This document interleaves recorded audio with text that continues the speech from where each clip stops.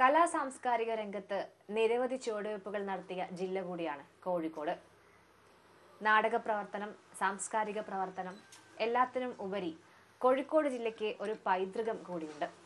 കോഴിക്കോട് ജില്ലയിലേക്ക് കോഴിക്കോട് ജില്ലയിലേക്ക് യാത്ര തുടരുമ്പോൾ നാടകത്തെക്കുറിച്ച് പറയാതെ അല്ലെങ്കിൽ സിനിമയെക്കുറിച്ച് എഴുത്തിനെക്കുറിച്ച് ചർച്ച ചെയ്യാതെ നമുക്ക് കടന്നു പോകാൻ സാധിക്കുകയില്ല.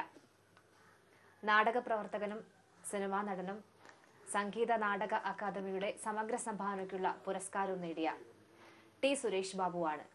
ഇന്നത്തെ ദിവസം നമ്മുടെ നാട് നേരിടുന്ന അല്ലെങ്കിൽ കല നേരിടുന്ന വെല്ലുവിളികൾ സിനിമ കടന്നുപോയ വഴികളൊക്കെ തന്നെയും സംസാരിക്കാനായി ഇലക്ഷൻ എക്സ്പ്രസിൽ ചേരുന്നത്.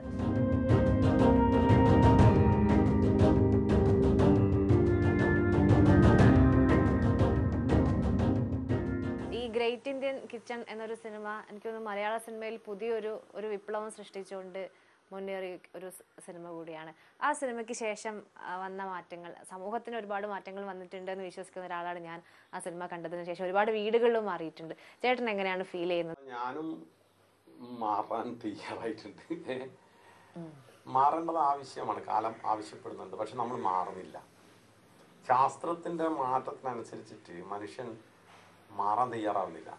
വീണ്ടും അതിന് ശാസ്ത്രത്തെയും കൂടി എന്ത് ചെയ്യുന്നു പറഞ്ഞാൽ അവർ പഴയയിലേക്ക് കൊണ്ടുപോകാനുള്ള ശ്രമ- ശ്രമമാണ് പലരും നടത്തുന്നത്. എളുപ്പമാണല്ലോ അത്.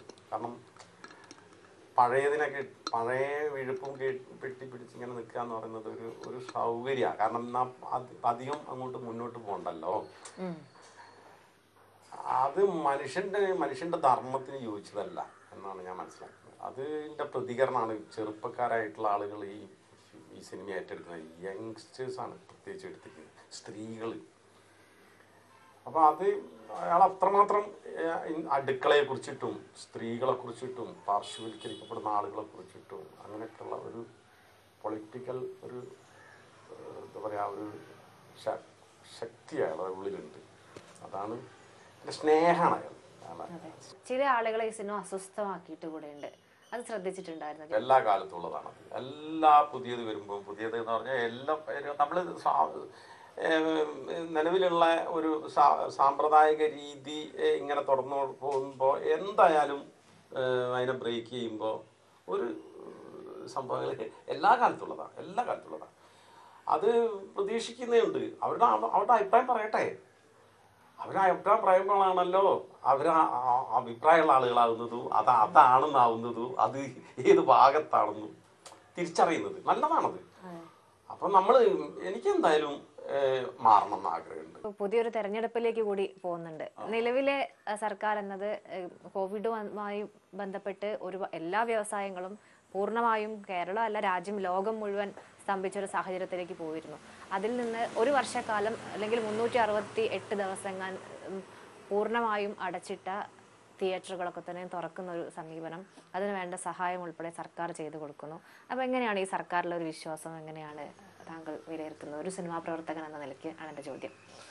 സിനിമാ പ്രവർത്തകൻ എന്നുള്ളവർക്ക് സിനിമന്റെ മാത്രമല്ലല്ലോ മനുഷ്യന്റെ. അതെ. മനുഷ്യന്റെ കാര്യങ്ങൾ ഇത്രയേറെ ചെയ്ത ഇത്രയും ഇങ്ങനത്തെ ഒരു ഘട്ടത്തിൽ ഏറ്റവും കൂടുതൽ പ്രയാസം അനുഭവിച്ച ലോകത്ത് ഏറ്റവും കൂടുതൽ പ്രയാസം അനുഭവിച്ച ഒരു സംസ്ഥാനമായിരിക്കും കേരളം.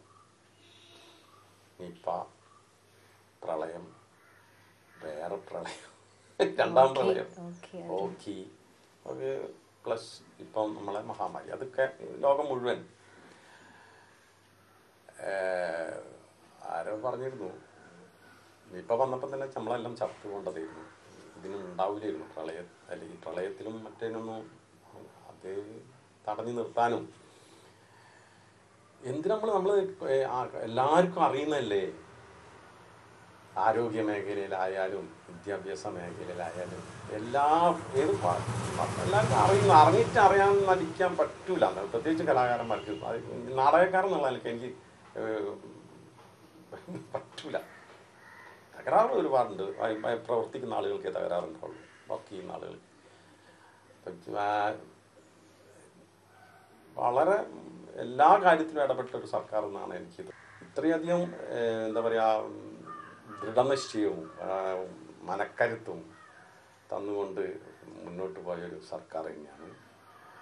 ഈ സർക്കാരിനെ കുറ്റം പറയാൻ അങ്ങനെ ഒന്നും എനിക്ക് അതിനെപ്പറ്റി അങ്ങനെ ഇത് ചെയ്യാനൊന്നും പറ്റുന്നില്ല. കാരണം എന്താ പറഞ്ഞാൽ എങ്ങനെ നോക്കിയാലും നമ്മൾ എത്തുന്നത് നല്ലൊരു തീരുമാനം കാണുന്നത്. ലോകത്തിന് ഒരു മാതൃകയായിട്ടാണ് ഈ സർക്കാർ എന്നാണ് എനിക്ക് തോന്നുന്നത്.